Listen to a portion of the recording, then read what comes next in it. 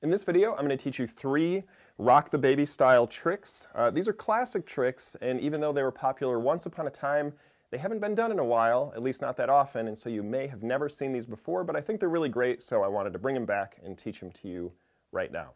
So the first one is called the swing set, uh, but you could actually call it uh, a baby swing because it kind of looks like how baby swings look today. That trick looks like this.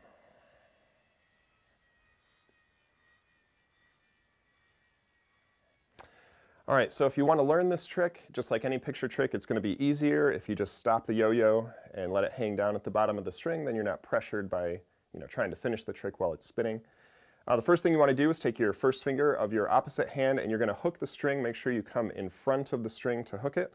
Then you are going to pinch the string in between your thumb and your yo-yo finger. And make sure when you pinch the string, you pinch it right where the string is attached to your yo-yo finger that'll create this V shape. Uh, if you pinch it too far out, the strings will be a little bit more parallel and that won't look quite as good for this trick. So make sure you pinch it just like that.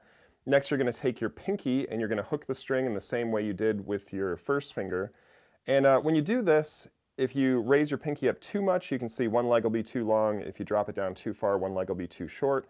Ideally, you want the legs to be about equal length or close, and then you're going to do the same thing you did before. You're going to pinch the string in between your thumb and your yo-yo finger, and again, pinch it right where the string is touching your yo-yo finger, just like that. Now we've got those two V shapes, and then just like Rock the Baby, put your hand right under the yo-yo, and you can rock it through.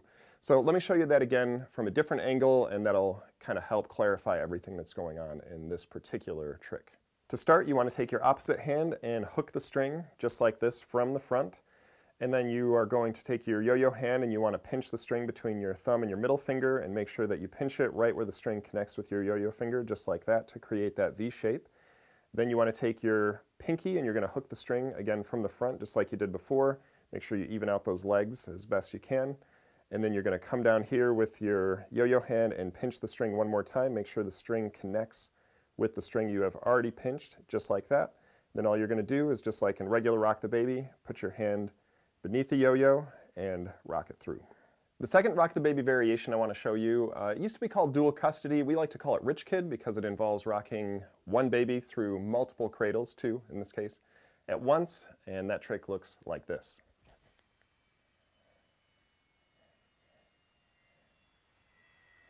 See your two cradles, and then you kind of rotate the cradle as you rock the baby through, just like that.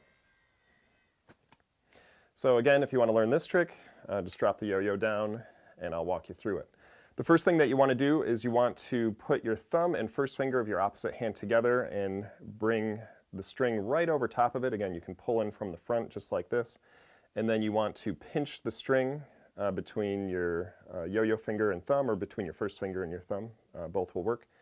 And then you want to take your the three remaining fingers that are outside the string, and instead of hooking the string like we've done uh, with these last few tricks, you actually want to come in between your body and the string like this, and you want to lift the string up. And when you do this, one thing that is critical if you want the trick to look right is you want to pinch the string between your middle finger and your first finger right where the string is touching your first finger in this first uh, triangle that you've made, just like that. And that'll help things line up a little bit better so the trick looks better. And then again, just lift the rest of the strings up with your other fingers, and then you're gonna come down here and pinch the string again. And if you spread out your uh, thumb and then your pinky, you can see you've got these two cradles right here.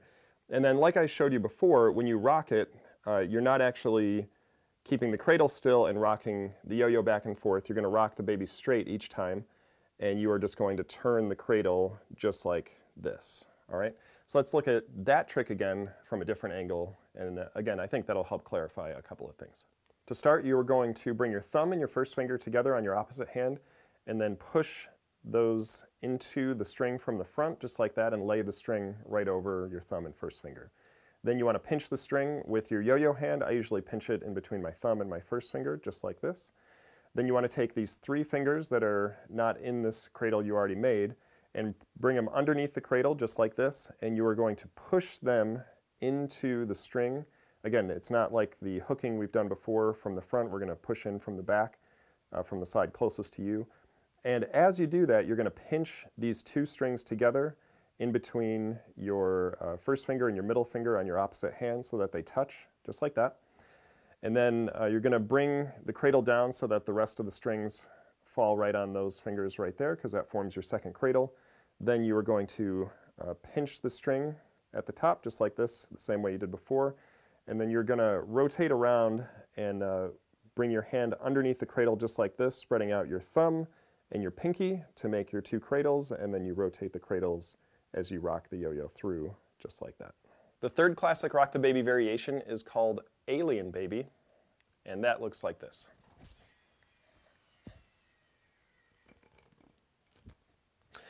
So Alien Baby, as you can see, is just the trick UFO done inside of Rock the Baby. Now we do have other videos that teach those tricks in more detail, but I'll teach them to you real quick right here, and then I'll give you some tips on making this trick look as good as possible. So the first thing, obviously, is you have to perform Rock the Baby. To do that, again, just get a good sleeper. You're going to grab the string right about in the middle with your opposite hand, pinch the string a couple inches above the yo-yo with your yo-yo hand, and then bring your opposite hand underneath the yo-yo and point your fingers forward, and that is Rock the Baby. Again, if you'd like some more detail on that or a little more help, we have another video on that. Uh, for UFO, all you're really doing is throwing a very powerful sleeper while the yo-yo is crooked. You're going to throw it across your body just like this. If you pick the yo-yo up, you'll see that it'll level out and start to UFO. Again, all you're going to do is put those two things together. Now when you put the two tricks together, what, uh, what you're going to find is that UFO does the same thing in this trick that it does in other tricks. If you're right-handed, that means it's going to loosen the string pretty quickly. If you're left-handed, it's going to tighten the string. So what you want to do before you actually perform the trick is you want to prepare the string to allow for that loosening or tightening depending on which hand you are. So you can do that with um, any number of string tension variations. Uh, we've taught these in other videos. You could do the sidewinder, just like that. You could also do a UFO in the opposite direction. And if you have another type of string tension method that you like, uh, you could use that as well. So once you have your string properly tightened, again, if you're right-handed, loosened if you're left-handed, then you can do the trick. Now, another thing uh, that I like to do when I perform this trick is instead of throwing right into a UFO and then building the rock the baby while the yo-yo is UFOing, if that's a word, uh, what I like to do is I like to just have it angled a little bit because you know it, it levels itself out. So if you throw it just right, you'll have just enough time to build your cradle while the yo-yo is starting to level out, and then as soon as it levels out, you can rock it through and get it back to your hand. Now, one more thing that you may not have noticed that I do when I perform this trick is I actually hold the cradle back when the yo-yo starts to UFO. And that's because uh, when it first starts to spin on its side, it loses control a little bit and it can go side to side. It can actually bump into the side of the cradle when that happens. And since it's spinning sideways, it'll wrap around those strings pretty quickly. And you don't want that to happen because that can get you into a knot.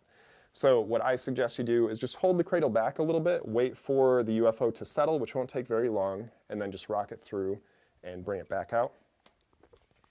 Uh, again, you want to make sure to tighten your string before you do this.